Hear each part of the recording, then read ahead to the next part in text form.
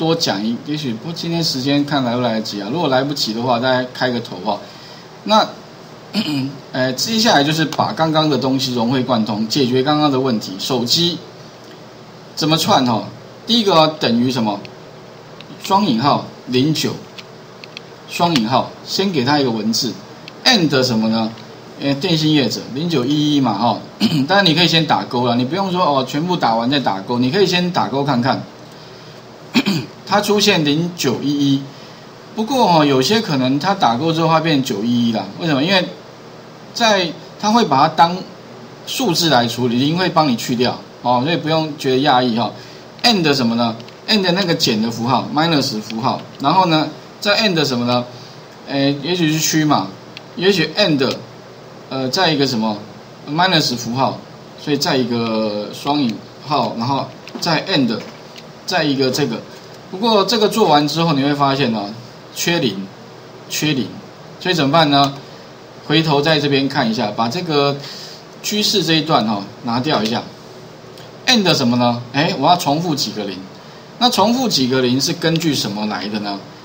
根据它假设两个字要补几个？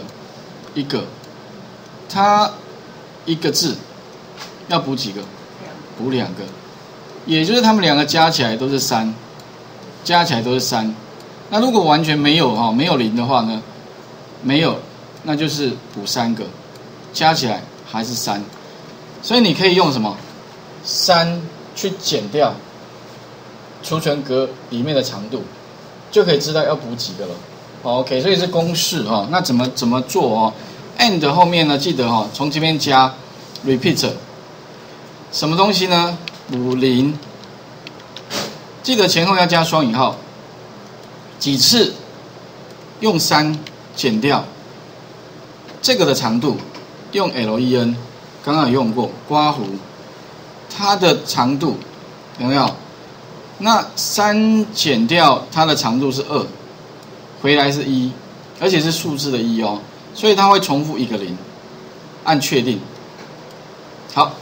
零九一减啊零，然后呢再来后面补上什么 end，它原来的区码打勾零八四，那后面这个一样嘛哈，其实你会发现跟刚刚的区码很像，差别只是说它的储存格位置不一样，所以聪明的做法应该是把这边有没有？哎，干脆什么？包含 end 有没有？Ctrl C 做什么呢？Ctrl V。把这边改成什么呢？H 四，这边改成 H 四，再打勾，做完了，可以应该知道我在做什么哈。这个 end 到这边哦，这边到到到这边有吗？啊，其实跟后面 H 四啊，它规则是一样的吧哈，所以干脆就拿来复制贴过去就好了嘛。哦，当然你要重新再打一遍，我也不反对啦。不过在效率上面一定是比较差，而且。一样的东西你就不用再重做了，因为已经对了嘛，你就是直接就复制对的哈。那记得只是改那个 H 四 H 四打勾，好向下填满，问题解决 OK 啊，这是用 REPT 加 LEN 的这种逻辑所做出来的。那因为这个嗯解法是那个某电信公司他们内部资讯主管啊。呃，所要求的这样的解法了。不过后来我发现，其实这样的解法有点太复杂了。其实还是有更简单的方法。所以后来我就想到哈，其实，在也是一样哈。我们在那个插入函数里面，文字函数里面哈，其实有一个函数哈，我有看到，其实更简单，叫 test。test 里面哈，就是将指定的数值转换成文字。数字转文字过程当中，后面你可以加一个 format test。那所谓 format test 就是在格式化，也就是如果八四是八十四，转成数字的时候，你可以变零八四。那 format 就是三码，所以三码就是零零零。那这样就简单多了。啊，如果你要四码，就零零零零啊。啊，所以以后你要什么规则，你可以用这个函数来做就好了。所以哦，当然方法二。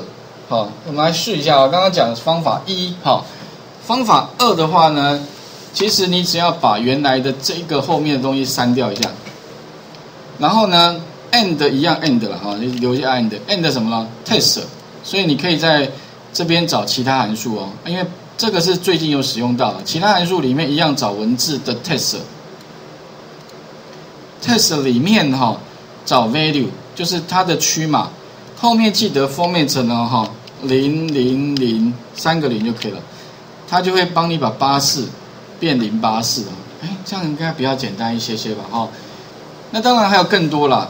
如果说你想要对 test 函数哈，比如说它还可以格式更多，像日期、时间，还有像货币或者像千分位符号啦、数字这些都可以。但是里面怎么做有更多详细规则，有兴趣的话，你可以点击下面那个函数说明，它有一些相关说明哦。按确定之后，哎，有没有？零八四？那后面这个，如果说第二个方法就是 Ctrl C，一样吧，Ctrl V，把这个改成 H 四，打勾，OK，点两下，大功告成，啊，所以有两种方法，但是基本上当然第二个方法会优于第一个方法，OK 哈，那。做完哦，如果你担心你可能会打输输入有问题的话不用担心的，上面这边都有答案的哈，在这里，这个是方法二，方法一，哦啊，如果你做错了，比一下了哈，OK 就会有答案。画面先还给各位一下哈，所以慢慢习惯，云端上面都会有答案哈，所以也不用担心了哈。但是最重要还是要踹一下，你反正就是尽量去尝试，哦，错误了没关系了哈。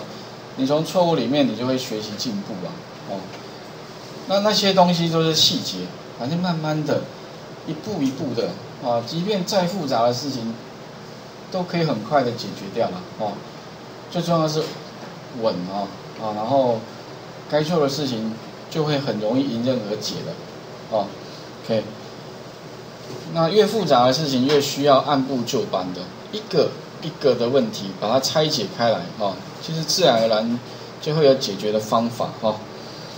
可以试一下刚刚的那个综合练习的函数解法，有两种方法一，方法二。那后面我们会再讲那个有关哈那个 VBA 的部分的。不过 VBA 看起来今天的时间应该是没有时间的，OK。所以也许 VBA 的话，我们。啊，下个礼拜再来开始好了。哦，函数部分先开始。那其他的话，我有上课有一本四百六十八招 Excel 的 VBA 那个函数四百六十八招那个书籍的话，哈，那以前是可能统一购买了，不过我想也没什么比较优惠啊，因为有些同学网络上买单应该可以买到更优惠的话，那就哦，要不然你们可以自行决定啊。如果当然有需要，就自己再。去团购或怎么怎么样的方式好了，OK 哈。那这本书的话，我会把它当成是将来一些延伸性范例，我一些基础简单范例延伸出去的范例哈，我会挑那里面的范例来做解说。那那个范例有些不错，但是它没有 VBA，不过 VBA 我会帮各位哈再做补充，怎么利用制定函数啊，或者是说。啊，一个一键完成做按钮的哈，这个部分会再做一些补充的范例哈。